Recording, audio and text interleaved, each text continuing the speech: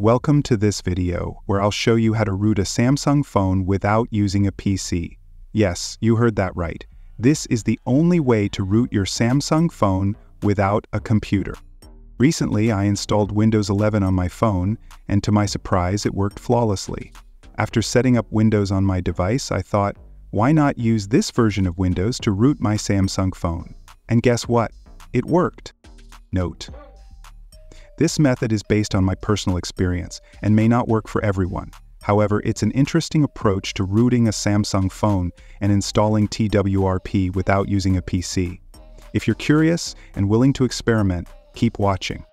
Now let's dive right into the process of rooting your Samsung phone, step by step. Unlocking the bootloader, installing TWRP recovery, and rooting any Samsung device in a simple step-by-step -step way. This process can open up a whole world of customizations and control over your device.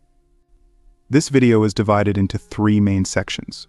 First, we'll unlock the bootloader. Next, we'll install TWRP recovery.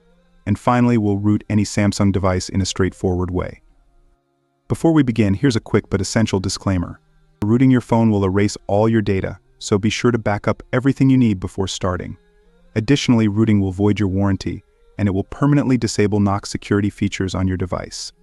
Proceed only if you're comfortable with these risks. For this example, I'm using the Samsung S23 running Android 14, but by the end of this video, you'll be able to root any Samsung device with ease. My device is running on latest update available, also the most recent security patch. First, we need to enable developer options on the device. To do this, tap several times on the build number until developer options are unlocked. You'll find this option in the device settings just below About Phone. Now, toggle OEM unlocking. If this option doesn't appear on your device, it's likely because some US carriers remove the OEM unlock option. Check the video description for ways to enable it. After enabling OEM unlocking, also enable USB debugging. With both options enabled, we're ready to unlock the bootloader. Connect your phone to Windows Phone via USB and boot the device into download mode. To do this, restart your phone by holding the volume down and power buttons. When the screen goes blank, quickly press both volume keys, which will take you into download mode. I don't know why Samsung dims brightness on this screen.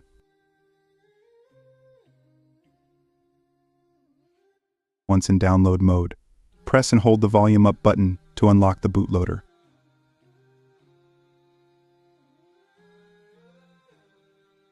A warning will appear, noting that unlocking the bootloader will void your warranty and erase all data. Confirm by pressing volume up again. After this, you may see some warnings while your device reboots this is normal. Bypass by pressing power button. Note that your phone will perform a factory reset during this process.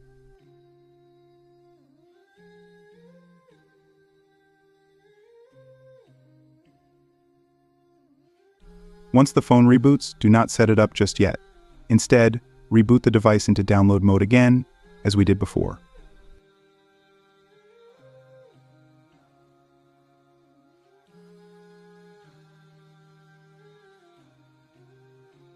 Press volume button to enter in download mode. Here you'll see that the FRP lock status is off, meaning your bootloader is now unlocked. I have connected my Samsung phone to a Windows phone. On my Windows phone, I have already downloaded all the necessary files for rooting, such as USB drivers, TWRP recovery, the VB meta file, Magisk, and Odin. I will provide the download links for these files in the video description. Sorry for the poor camera quality, I don't have a dedicated camera, so I am recording this video using my iPad. To root your Samsung phone, first open Odin on your Windows phone. Inside Odin, select the TWRP recovery file in the AP slot and the VB meta file in the user set slot.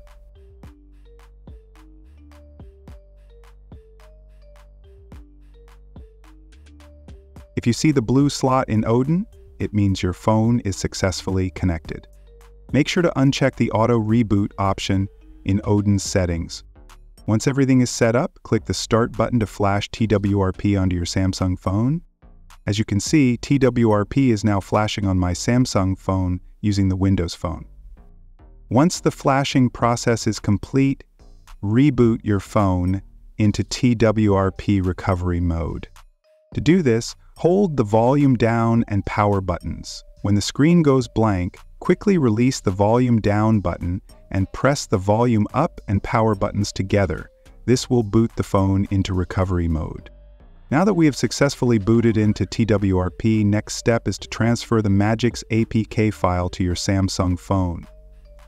This version of Windows 11 has a brightness bug that causes the screen to dim automatically after some time. If you can see, I'm transferring the Magisk file to my phone using TWRP.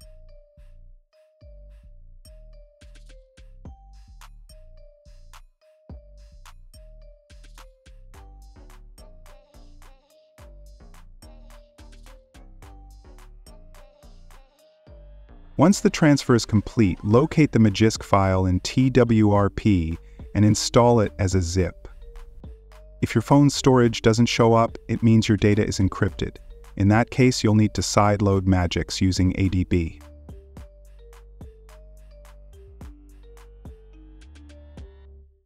Now that Magisk is installed, reboot your phone.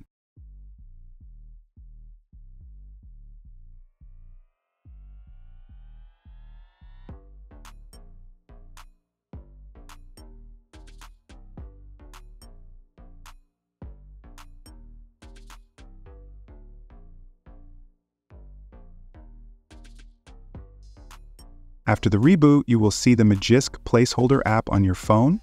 Open it and it will automatically download the latest Magisk app from the server.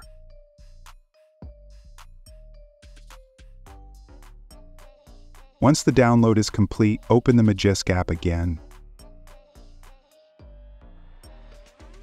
If the app asks for additional setup, click OK, then select Direct Install.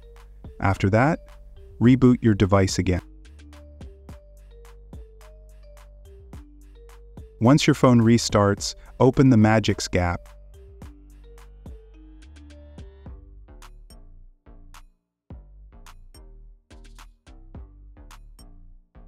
And there you go, your phone is now successfully rooted without the need for a PC. Let's verify the root status using the Root Checker app.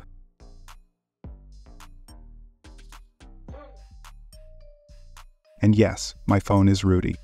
That's it for this video. If you found this tutorial helpful, make sure to hit the like button and subscribe to my channel for more content like this. Also, don't forget to check out my Windows on Phone video and the Root Any Device playlist to learn more about rooting your phone. Thank you for watching, and I'll see you in the next video.